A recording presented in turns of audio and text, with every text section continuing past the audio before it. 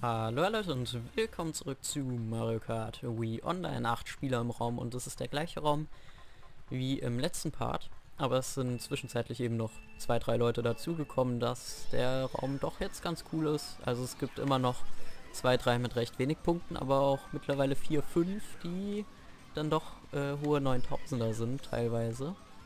Ist auf jeden Fall ganz interessant gewesen. Auch die letzten Rennen waren immer ziemlich, ziemlich eng am Ende. Und, ne, da dachte ich mir, lohnt sich vielleicht noch einen Part hier in dem Raum aufzunehmen. Ich habe nicht viel Minus gemacht, aber auch nicht viel Plus, also ich bin ziemlich konstant geblieben, weil ich immer im Mittelfeld gelandet bin. Äh, also dürfte sich auch an der Punktzahl nicht allzu viel getan haben. Aber wenn ich hier gewinnen sollte mal einen Rennen, dann können wir hier auf jeden Fall gut Plus machen in dem Raum. Falls ich verlieren sollte, aber auch gut Minus, also, ne, kommt auch so ein bisschen auf die Platzierung der anderen drauf an. Das ist nicht schlecht, die Bombe an der Stelle. Ja, hat aber keinen getroffen, okay, das ist interessant. Ich dachte, damit erwische ich locker zwei. Weil in der Kurve... Alter, schon zum zweiten Mal, dass ich hier nach dieser Kurve so erwischt werde. Ey, ey, ey, die Grüne hätte die mich jetzt noch getroffen, ey. Ja, komm, ich hoffe mal drauf, dass er Blitz hat und ihn bald einsetzt.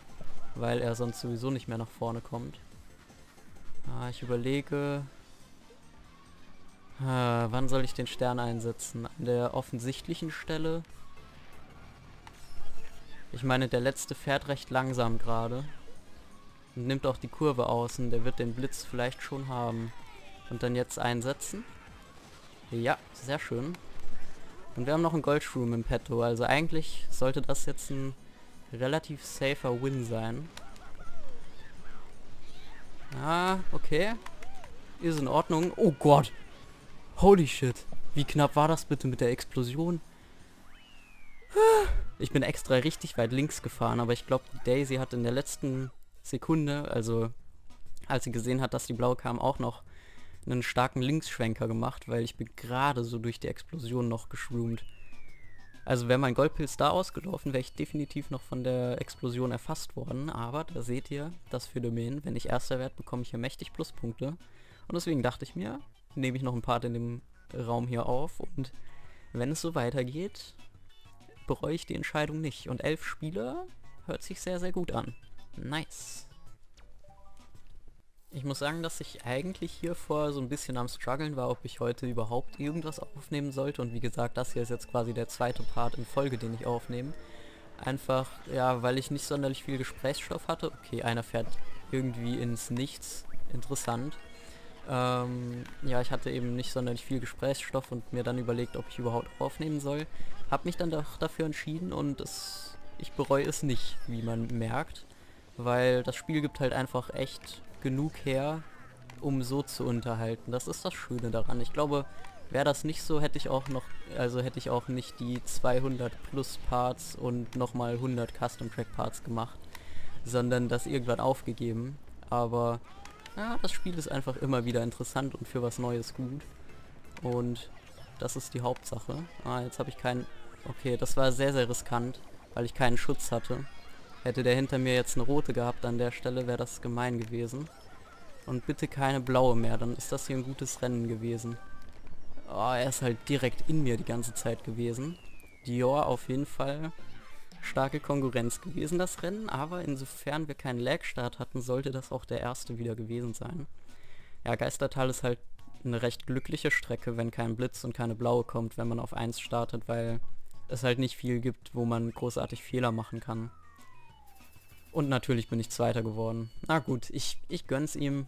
Beide plus 72 ist, ist okay für mich. Ja, aber auf meinem Bildschirm ja, war ich vorne, möchte ich an der Stelle nur gesagt haben. Ja, aber er ist auch nix, in nichts reingefahren von meinem Backspam. Das ist auf jeden Fall nicht schlecht gewesen von ihm. Es könnte natürlich aber auch so gewesen sein, dass er bei sich auf dem Bildschirm die ganze Zeit auf 1 war und gar nicht in meinen Backspam fahren konnte. Ach man. Naja, das sind halt die kleinen Lags, die kleinen aber feinen Lags. Diesmal hatten wir den gleichen Start, aber alle anderen sind irgendwie weiter hinten gelandet. Hey, ey, ey, ramm ich hier mal bitte nicht so weg. Und der Snipe von hinten war not bad. Also ich sag mal so, wir sind ineinander gefahren und wären beide fast getroffen worden davon. Okay, ah, ich weiß nicht, ob es sinnvoll ist, auf Pilzschlucht auf 1 lang zu fahren. Vermutlich werden wir sowieso gleich überholt von welchen, die hier Shortcut ziehen. Also hier hat es definitiv auch einige in dem Raum, die den Gap Jump in letzter Minute noch ziehen könnten. So vom reinen Skill-Level her würde ich behaupten. Oh, da hat einer gefailt gerade. Ich habe nichts gesagt. Oder es sah nur so aus, weil er geleckt hat auf der Karte. Aber ich glaube, da hat jemand gefailt. Ah, schade. Ich dachte, vielleicht bekomme ich ihn mit der zweiten Fake dann noch. Weil er der Banane ausweicht und sich dann denkt, ha, ausgewichen. Und dann kommt die doppelte Ladung. Oh, der Blitz war gut. Genau vor dem Booststreifen zum einen und zum anderen nicht über den Pilzen. Weil das wäre gemein gewesen. Und das Feld ist gerade... Oh nein. Schaffe ich es auf den Pilz? Nein. Kacke. Oh, das könnte sein, dass ich hinten noch gerespawnt werde. Ja. Ah, das ist richtig bitter. Das war die schlechteste Position, wo ich hätte geblut werden können. Wäre ich hier geblut worden, also runtergeblut worden, dann wären wir nämlich auch vor der Schlucht wieder gespawnt worden. Dann wäre das gar nicht so schlimm gewesen. Zumal der Blitz mich sowieso noch klein gemacht hatte. Aber so war es jetzt richtig, richtig übel. Ja, und jetzt sind wir schon... Also, das ist krass. Ich meine, das Feld war so aufgesplittet und wir waren ganz vorne und jetzt bin ich fast ganz hinten bei dem aufgesplitteten Feld. Und die ersten sind außer Reichweite, das ist echt gemein gewesen. Keinen hat der Powerblock getroffen, kann das sein? Waren die alle in der Luft in der Sekunde, das ist aber auch unlucky. Naja. Ach. Wo wir schon bei unlucky sind, ne? Der Blooper war jetzt auch nicht so die Welt. Da vorne hatte jemand Gap Jump gezogen. Schade, dass er den geschafft hat, weil sonst hätte ich noch einen Platz gut gemacht. Aber ja, da machst du nichts. Das war unlucky. Ja, von den Items her war das wirklich unlucky. Also ich ge gebe mir die Schuld bei dem Rennen hier nicht tatsächlich. Minus 60, ja gut.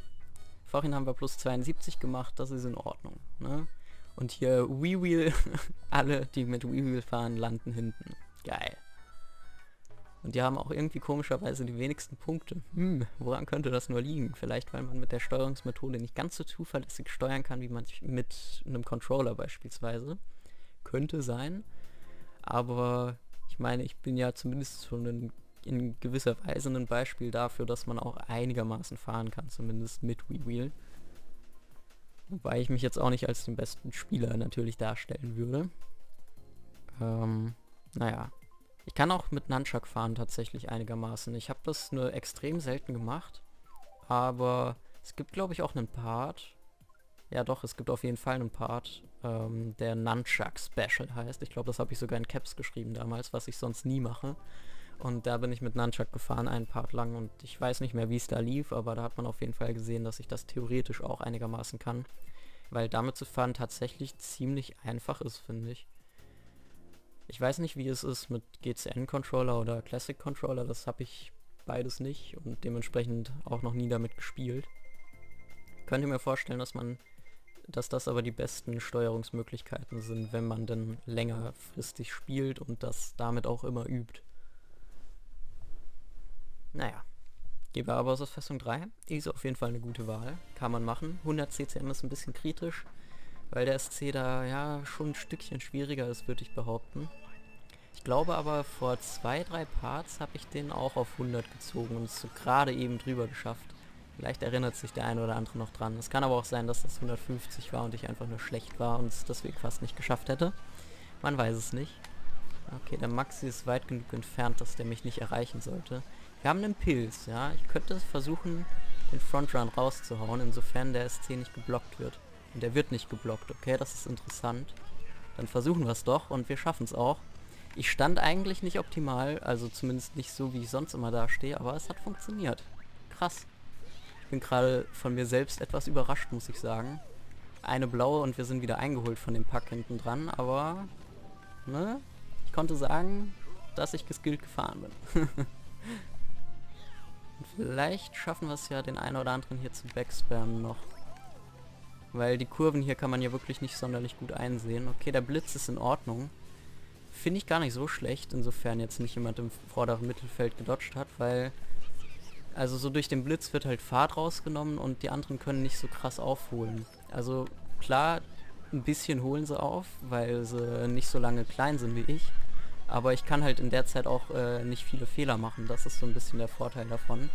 Und ich hoffe, dass das Mikro nicht irgendwelche Boop, Boop, Boop Geräusche macht oder so, weil ich ähm, mit dem Rewheel hier rumschüttel und das richtig am rumbouncen ist. Ja, zwei haben den SC gezogen. Mist, ich habe vergessen, den zuzulegen. Das hätte ich mal machen müssen. Ja, und jetzt ist der mit den drei Grünen vor mir. Das ist eklig. Okay, da war es schon nur noch eine. Ah, ich sehe auch wieso.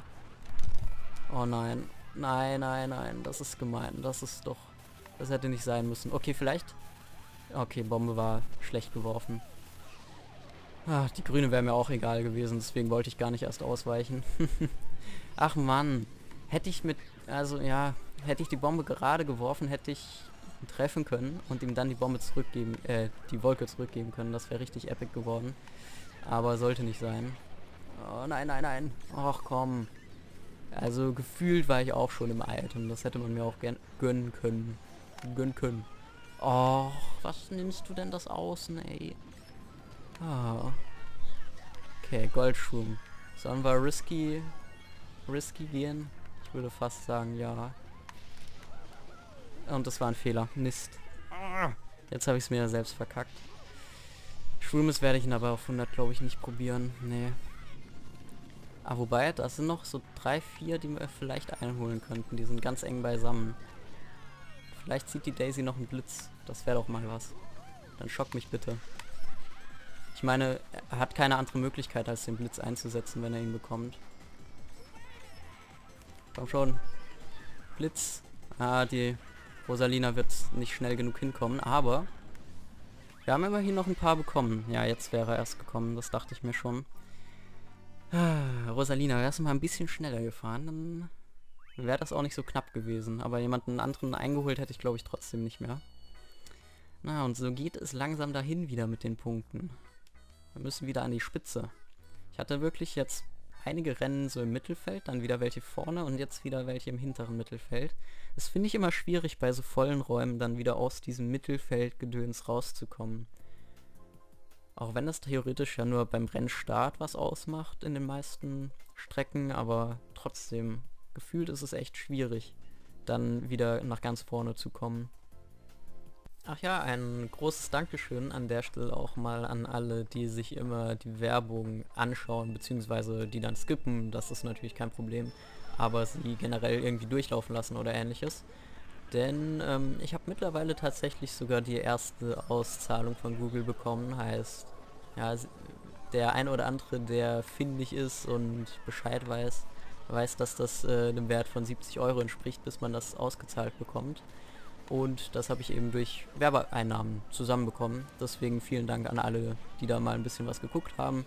Ihr habt mir dann, oh Gott, das war, uiuiuiui, knapper geht nicht. Ähm, ihr habt mir sicherlich dann ein, zwei Cent spendiert über den gewissen Zeitraum hinweg.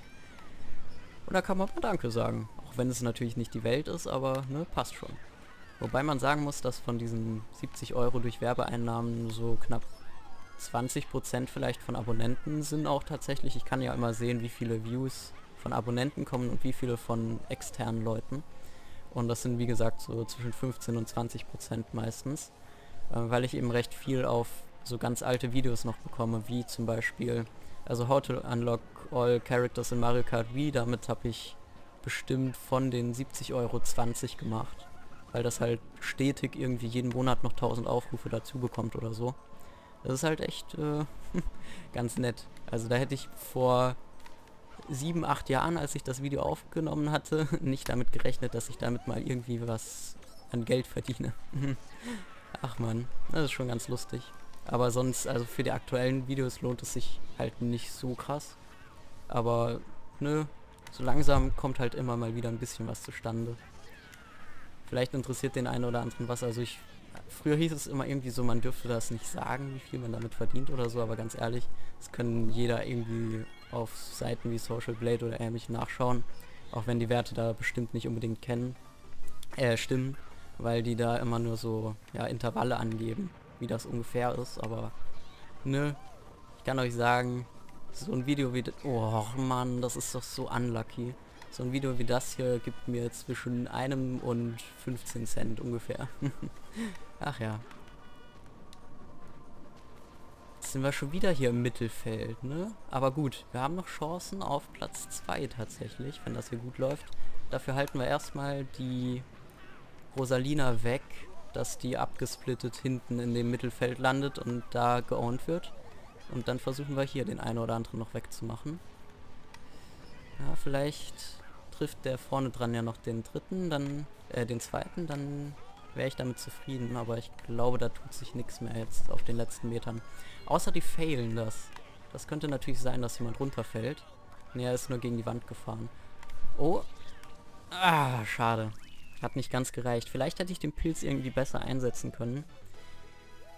Dann hätte das das Zünglein an der Waage sein können, aber naja, vierter sollte auch wieder Plus geben. Ich weiß gar nicht, wie viele Spieler noch drin sind. 4, 5, 6, 7, 8, 9, 10, 10? Dann sollte das Plus geben. Und dann würde ich sagen, machen wir noch ein Rennen zum Abschluss, indem wir nochmal versuchen, richtig tryhard-mäßig auf 1 zu kommen. Wobei das in dem Raum hier echt schwierig ist, muss ich sagen. Ja, prinzipiell hätte hier jetzt noch ein Rennen kommen sollen, aber leider ist die Aufnahme abgeschmiert im letzten Rennen, das ich aufnehmen wollte und deswegen kann ich euch das leider nicht mehr zeigen. Ich hoffe, es hat euch trotzdem gefallen und ihr seid im nächsten Part wieder dabei. Bis dann und tschüss.